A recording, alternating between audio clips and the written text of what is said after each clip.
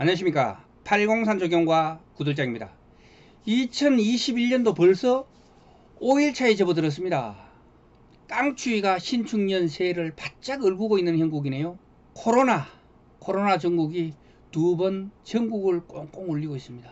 시청자님들 이런 때일수록 마음 단디 잡고 역경을 함께 이겨나가야겠습니다. 오늘은 시청자님의 질문에 대한 답변으로 공익형 직불금 공익형 직불제 그 구제 법안에 대하여 정부 담당자와 상정하신 대표 국회의원실 담당자들과 통화를 해봤습니다.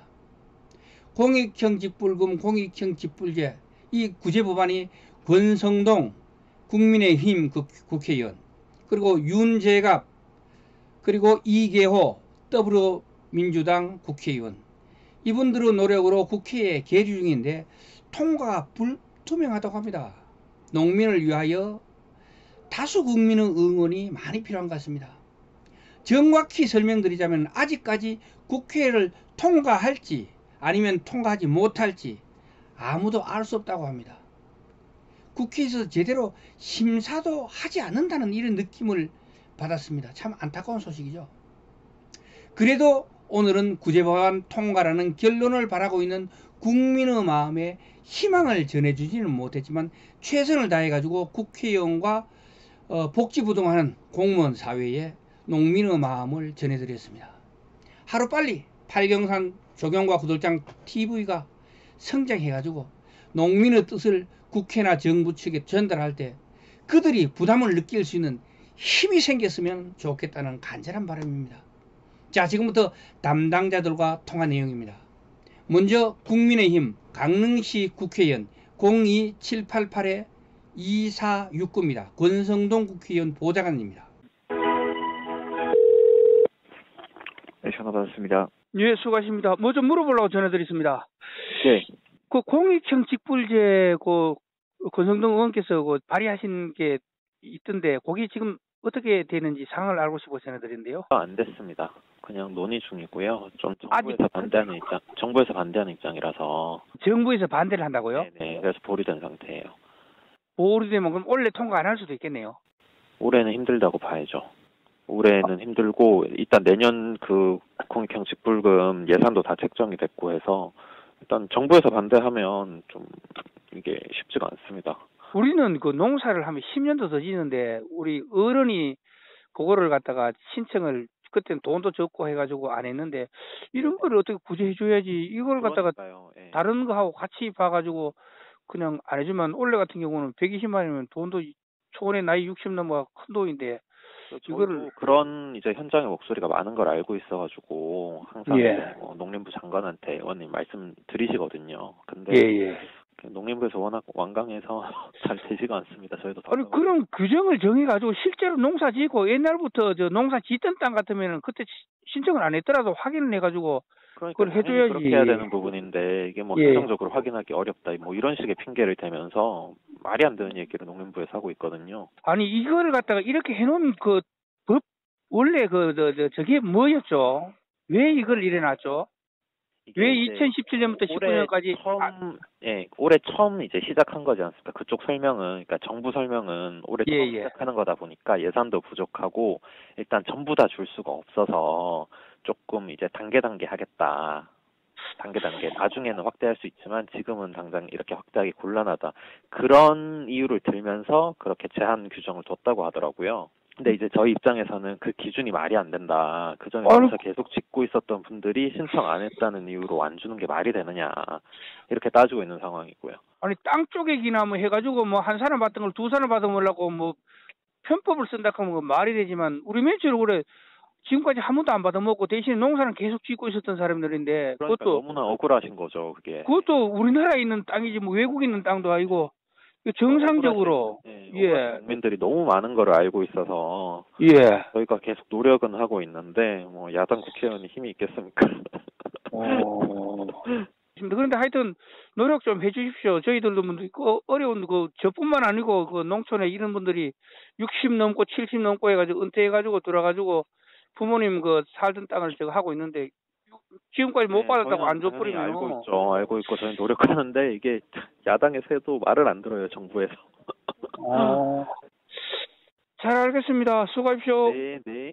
다음은 더불어민주당 전남, 담양군, 한평군, 영광군, 장성군 4개 군의 국회의원입니다.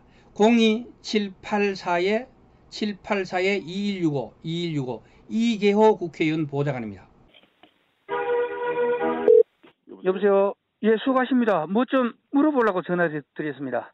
네네. 그 공익형 직불제 저 못 받는 사람들 구제 방안에 대해서 이번에 법안이 발의된 것 같은데요. 그리고 거기에 대해서 궁금한 게 있어서 전화드렸습니다. 네네. 우리가 그 촌에 이미 내려온 지도 십수년 되고 농사 지은 지도 오래되거든요. 오래되는데 지금까지 이제 선친이 농사를 짓다가 이제 최근에 몇 년 전부터 저희들이 짓고 있는데 선친이 그 그때 당시로는 뭐 돈이 뭐 몇만 원 안 된다고 이제 직불금을 안 받았거든요. 예, 대부분 그랬습니다. 그런데 이제 우리가 이제 공익형 직불제가 되니까 이제 120만 원을 준다니까 그 적은 돈도 아니고 나이 65 넘으니까 이제 뭐 그 돈도 좀 기려울 때가 되는데 우리가 신청을 하니까 2017부터 19년 사이에 예, 예. 직불금을 받은 이력이 없어가지고 예. 돈을 줄 수가 없다는 겁니다. 그래가지고 예. 제가 그 권성동 의원실하고 그 윤재갑 의원실하고 통화를 해보니까 자기들은 이제 발의를 해가지고 찬성을 하고 있는데 그 자기들은 알 수가 없고 다른 의원들한테 한번 알아보라 하면서 가시더라고. 그래가지고 전화를 드렸는데 혹시 거기에 대해서 아시는 게 있나 싶어서요. 아니요, 그거는 이제 법안이 심의를 해서 이제 통과가 돼야 됩니다. 아 지금 통과가 안 되고 있습니까? 그렇습니다. 그 왜 안 되는 거죠? 정부가 현재 반대를 하고 있고요. 예. 아마 내년 2월 국회 때 아마 심의를 한번 해봐야 될 것 같습니다. 어, 정부에서 반대를 한다고 하면 원래 그 농민들을 위한 법인데 그걸 반대를 한다고 하면 뭐 이유가 있을 거 아닙니까? 이제 그 사람들은 이제 부정수급자가 많이 끼어들 개연성이 있다 해서 반대를 하고 있습니다. 그걸 확인을 하면 될 텐데. 이게 이제 그 확인 방법을 어떻게 할 것인지를 의논하고 있는 겁니다. 그러니까 뭐 이제 마을 이장들이 동 저 확인을 해주면 할 건지 아니면 뭐 다른 뭐 여러 가지 비료를 샀다 할지 농약을 샀다 할지 이 사람이 이제 농사를 지려면 이제 그런 게 필요하지 않겠습니까? 근데 그런 예, 예. 그런 증거들을 그 매출 저저산 영수증이나 뭐 기록을 보고 할 건지 이런 것에 대한 논의가 이제 계속되고 있는 거죠. 음, 우리도 요즘 나이가 많이 들다 보니까 촌에 있으니까 진짜 이 돈 나올 구멍은 없고 그런데 그러니까. 다른 사람은 받아 먹는데 우리가 이- 저럴 테니까 너무 저거 하더라고. 우리뿐만 아니고 옆집에도 뭐 몇 군데 이렇게 같이 있는데 그분들도 예, 뭐 많이 많아요. 그럼. 80살이 넘고 하니까 네. 작년까지는 뭐 돈 뭐 한 몇 평 안 되니까 돈이 얼마 안 이제 뭐 되니까 만 몇천 원 받으려고 막 신고하고 복잡하고 그러니까 에이 그럼 무시하다가 그 상황이 이렇게 돼 있죠. 그런데 갑자기 법을 만들면 그걸 구제방을 만들어 놓고 만들어야지. 이걸 이건 우리 같이 이런 사람들 억울한 사람이 좀 적을 텐데 그러니까요. 좀 이걸 좀 힘 좀 써가 좀 할 수 있는 예, 방법이 없을까요? 노력을 하고 있으니까 좀 지켜보셔요. 아, 좀 잘 부탁드립니다. 혹시 그 담당을 하시는 뭐 부서나 그러면 이런 데가 어디 있을까요? 그건 농식품부에 이제 식량정책과에도 물어봐야 돼요. 아. 그러면 이제 법안은 지금 발의가 됐지만 지금 통과는 안 되고 있네, 그죠? 네, 네. 국회의원들이 또 반대하시는 분도 많습니까? 뭐 그렇게까지 아직은 그런 분들은 없는데 또 심의를 해보면 또 어쩔지 그건 알 수가 없습니다. 아. 그 부정 수급은 분명히 없어야 되지만 그렇다고 해가지고 선량한 사람들까지 이게 피해를 보니까 그걸 빨리 빨리 안 만들어 주시고 하시니까 좀 답답하기도 하고 그러네요. 네, 그 하여튼 그잘 좀 부탁드리겠습니다. 그래요. 세 번째는 면사무소 단, 담당 공무원과 통화해봤습니다. 아, 예, 선생님 면사무소인데요. 예, 예. 네, 그 선생님 신청하신 농지가 지금 지급 원래 그 지급 조건에 해당이 안 됐어요. 그 요 농지가 이제 2017년에서 2019년 중에 한 번이라도 직불금을 수령한 농지여야 직불금 그 신청 대상이 되는 농지가 되는데 여기 다 직불금을 한 번도 받은 적이 없는 농지로 지금 조회가 음. 돼요. 법이 안 바뀌면은 저저 뭐고 면적 대상도 안 되는 거죠. 아, 그 전년도에 제가 그 전년도에 업무를 안 봐가지고 전년도까지는 어쩐지 모르겠는데요. 올해 지침은 요렇게 바뀌어가지고 딱 내려와가지고 그 예 농지 때문에 지금 그 조건이 안 되네요. 아니 면적 직불금도 안 된단 말입니까? 아니면은 예, 면, 면적도 안 되고요. 소농도 안 되고 면적도 안 되고 예, 맞아요. 받을 대상 자체가 안 되는 거죠. 예, 예. 지금 올해 벌써 이제 이게 다 통과가 돼가지고 어, 원래 직불금 벌써 지급이 됐어요. 그 아니- 조건에 맞는 분들은 다 지급이 됐어요. 거기 어디고 그저뭐그 보장 국회의원 보장한테 전화해 보니까 법이 바뀌면은 뭐 원래도 받을 수 있는 것 같이 이야기하던데요. 그거 아닌가요? 네, 지금 벌써 그 지침이 다 만들어져 가지고 예. 원래 사업이 이제 다 끝이 났어요.